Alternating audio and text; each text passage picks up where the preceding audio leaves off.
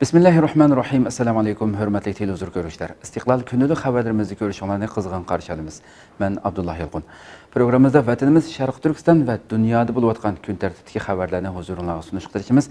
Qənəmizdə diqqətlər ekranımız olsun. Xitay Şərq Türkistandakı terror siyasətini qayta təkidlədi. Sharq turkistondagi xitoy doirlari yaqinqi kunlarda echilgan bir necha yig'inida atalmish junxo millati o'rtaq gavdasi engini mustahkamlash dinni xitoylashtirish qatorliq terror siyosatlarida ching turish kerakligini ta'kidladi. Tangritog' to'rining xabarida bildirilishicha sharq turkistondagi xitoy doirlari oldingi hafta atalmish uyg'ur abnum rayonlik o'n uchinchi navbatli xalq hukumatining bir yuz ellik ikkinchi qitimliq doimiy yig'inini ochgan. Qo'rchoq amaldor erkin tunyaz riyosatchilik qilgan mazkur yig'inda xitoy rejimi yaqinqi bir necha yildan beri kuchab ijro qilayotgan sharqi turkiston xalqini umumyuzlik assimilyatsiya qilishni maqsad qilgan atalmish shinjongni madaniyat orqali oziqlantirish junxo millati o'rtaq gavdasi engini mustahkamlash muqimlikni ching tutish siyosati qayta ta'kidlangan. Undan boshqa sharqi turkistondagi xitoy doirlarining din xizmati yig'ini 21 fevral urumchida ochilgan bo'lib mashhur yig'inga dinni xitoylashtirish yo'nalishida ching turish jumladan sharqi turkistonda islom dinini sotsializm jamiyatiga uyg'unlashtirish dinni umumyuzlik qattiq idora qilish kerakligi haqida jar solgan kuzatuvchilar xitoyning har xil razil vositalar va turli bahonalar bilan sharqi turkiston xalqining moddiy ma'naviy madaniyatini cheklab vayron bu jarayonda atalmish madaniyat orqali oziqlantirish islom dinini xitoylashtirish siyosatini kuchab tashviq qilayotganligini xalqaro jamiyatning kuchlik ayblashlariga qaramay yanada irqiy qirg'inchilik siyosatidan voz kechmaganligini muhojirat yashayotgan sharqi turkiston xalqining chet elda tadrijiy assimilyatsiya bo'lib ketishining oldini olish uchun o'z madaniyatiga aloqador ta'lim tarbiyani kuchaytirishi kerakligini ta'kidlashmoqda.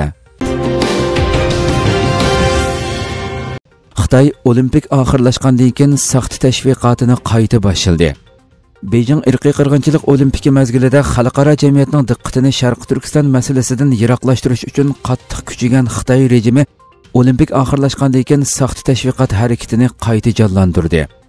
Xitoy tashviqot organi xalq to'rining xabarida bildirilishicha, Sharq Turkistondagi Xitoy doiralari 22 aprel Xitoyning Janvada turishliq doimiy vakillar o'miki bilan birlikda atalmish Shinjong yaxshi joy nomli silliq yig'in o'tkazgan. Yig'inga bir qism davlatlarning diplomatlari qatnashgan.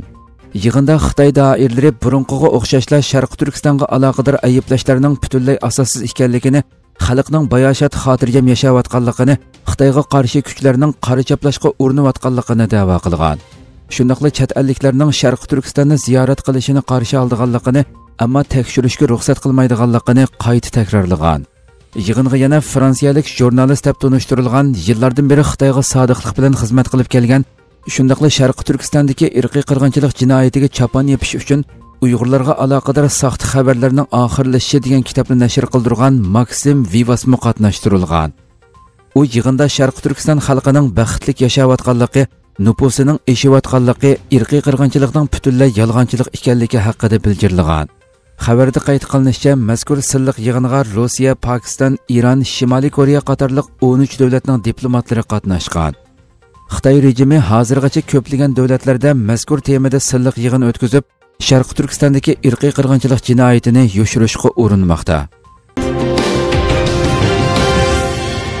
Xitoyning musulmonlar orasiga tabriqchilik selish harakati kuchaymoqda.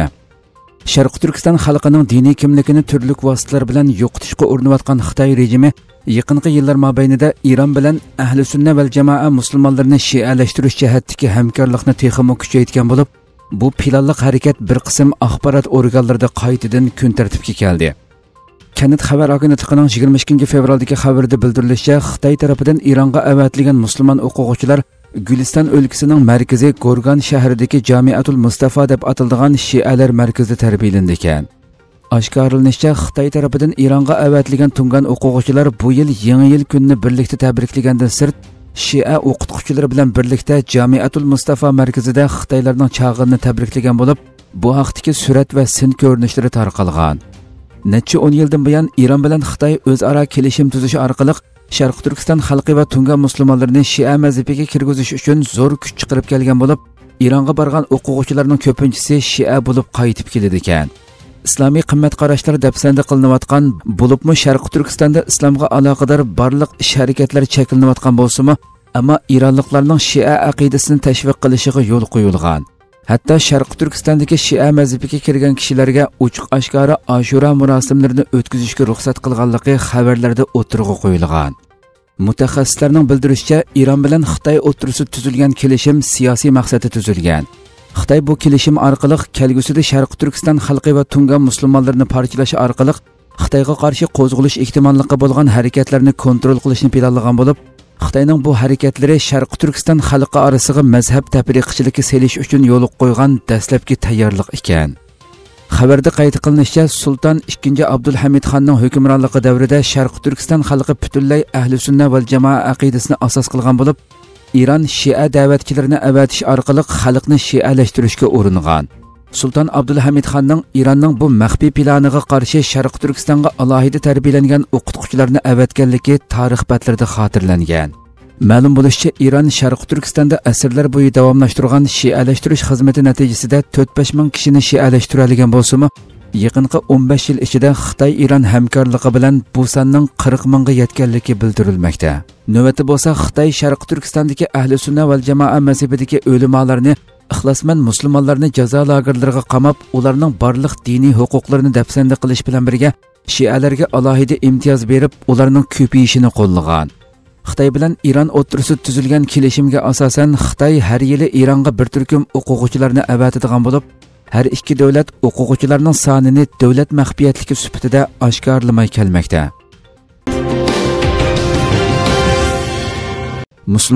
Qarshi tarqitilgan karikatur hindistonda kuchli g'ulg'ula qo'zg'adi hindistonda hokimiyat yurgizayotgan hindiston xalq partiyasining gujarat o'lkalik sho'basi ijtimoiy uchur vositalarida musulmonlarga qarshi irqchilik tusini olgan karikatur e'lon qilgandan keyin kuchli g'ulg'ula qo'zg'adi al jazira to'rining 22 fevraldagi xabarda bildirilishicha hindiston xalq partiyasining gujarat sho'basi twitter instagram va facebook hisoblarida bir to'p musulmonni darg'a osgan karikatur e'lon qilgan bo'lib uzun o'tmay o'chirib etilgan hindiston vaqt kezdi bu haqda xabar berib twitter boshqurg'uvchilarining o'chmanlik mazmundagi uchurlarni tarqatmaslik qoidasiga asosan bu uchurni o'chirib o'tganligini qayd qilgan.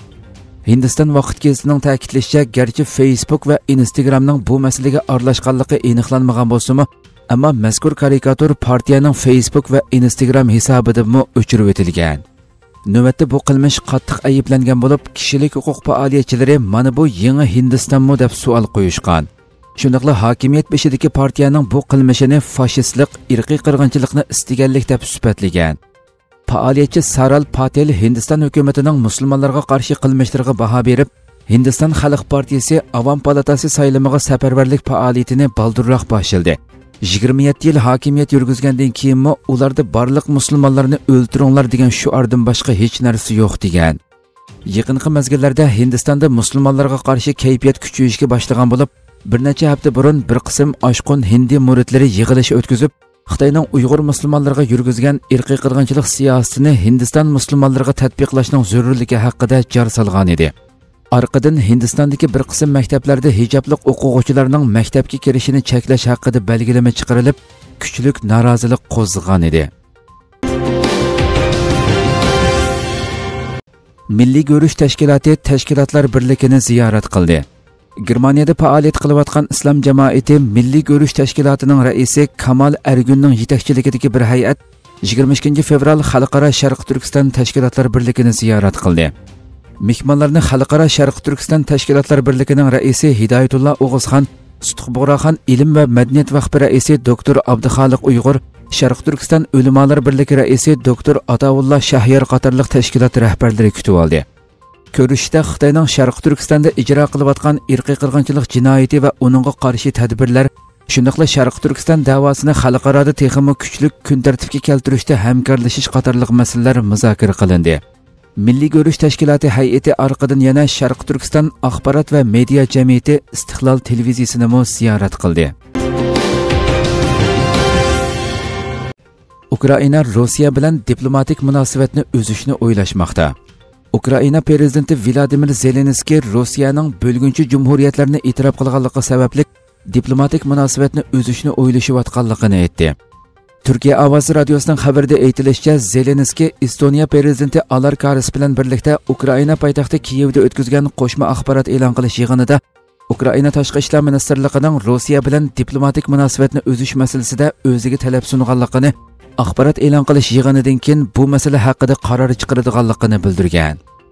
Zelenskiy dunyoning va Yevropaning 2008 yili Groziyada sodir qilingan xatoliklarning takrorlanishiga yo'l qo'ymaydiganligini aytgan va Rossiyaning tajovuzchilik harakatlaridan keyin Rossiyaga jiddiy embargo yurgizish masalasida o'rtaq tunish hosil qilganliklarini eskartish bilan birga embargolarning shimoliy iqim 2 tabiiy gaz turbi liniyasini tamoman to'xtatishni o'z ichiga elishi lozimligini ta'kidlagan. Undan boshqa Rossiya tashqi ishlar ministrligi Ukrainadagi diplomatlarning intayin qisqa vaqt ichida tarqoqlashtirilganligini uqtirgan. Xabarda qayd qilinishicha, Bashar Asad hokimiyati Rossiya prezidenti Vladimir Putinning qarorini qo'llaydiganliklarini və bölgünçü hökumətlər bilən həmkarlıq ornatılğanlıqlarını bildirgən. NATO baş katibi Rus əskərlərinin Donetsk və Luhansk rayonlarına kirganligini bildirdi. NATO baş katibi Jens Stoltenberg Rus əskərlərinin Donetsk və Luhansk rayonlarına kirganligini ilgiri sürdü. Türkiyə Avaz radiosunun xəbərdə bildirilişə Şimali Atlantik Əhdi Təşkilatı baş katibi Jens Stoltenberg Rossiyaning Ukraina va uning atrofidagi qo'shin sonini ko'paytganligini, askarlarning urushga tayyor holatda kutib turayotganligini, Rossiya askarlarining oldingi kuni kashda Donetsk va Luhansk rayonlariga kirganligini bildirgan.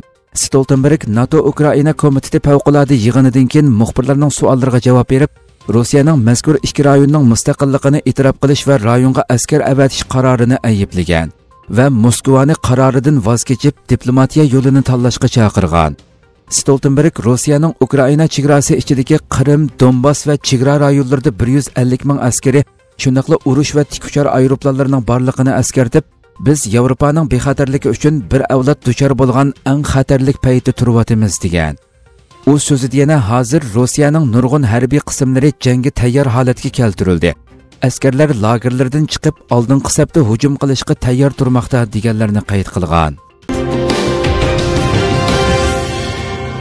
Donald Trumpning Truth Social nomli ijtimoiy aloqa supisi xizmatga sunildi. Amerikaning sobiq prezidenti Donald Trump Twitter hisobini to'nglatib qo'yganligiga 1 yil bo'lgan paytda Truth Social, ya'ni rostchil ijtimoiy deb nom bergan ijtimoiy aloqa supisini xizmatga sundi. Turkiya ovozi radiosining xabarida bildirilishicha, Alma shirkatining qo'llanishchan app bozorida cheklik sondagi abonentlarga sunilgan appning 10 kun ichida barliq abonentlarga echib etilishi mo'ljallanmoqda. Yana bir tarafdan app ishga kirishtirilib, bir necha soatdan keyin talab yuqori bo'lganlikdan kishilarning appga bemalol erishishida masala ko'rilgan. Qo'llanishchan app tarafidan nurg'unlagan abonentlarga talab intayin ko'p bo'lg'achqa, biz sizni saqlash tizimligiga kirgizdik. Sizni yaxshi ko'ramiz degan uchur yo'llandi. ijtimoiy aloqa supilari Twitter, YouTube va Facebook 2021 yili 1 oyning 6 kuni Amerika Davlat Majlisiga besib kirish voqeasiga hassa qo'shgan shundoqla 2020 yillik prezidentlik saylamiga hili ishlatgan degan ayblashlar sababidan Trumpning hisoblarini to'nglatgan edi. Donald Trump 2021 yili fevralda media va texnika guruhi TMTG ni qurib chiqqan va oktyabrda bu shirkat doirasida Truth Social Raskil ijtimoiy nomli ijtimoiy aloqa supisi qurishni planlaganligini e'lon qilgan edi.